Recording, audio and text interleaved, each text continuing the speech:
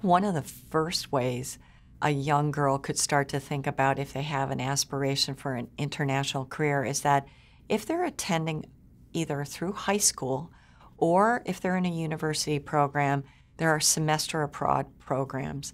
I think taking that first step to have an experience overseas and having that excitement, but also having the confidence is a wonderful way to build off of is this something I really like?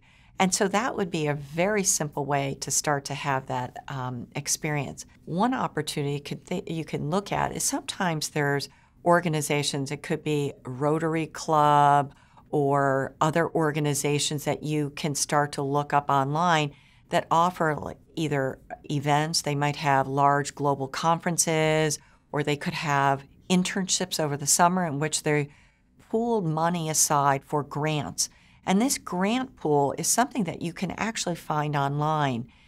Or if you're studying a language in high school, if you're studying Spanish or French, sometimes there's organizations that are looking for international to support the cross-cultural exchange. So there's opportunities for young people to be able to be sponsored to go abroad.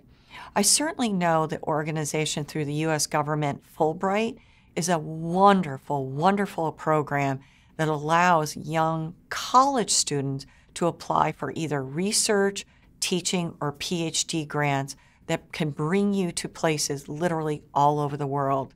And it was founded by uh, Senator Fulbright in the hopes of building and bridging uh, cultural exchange across the world to lead to peace.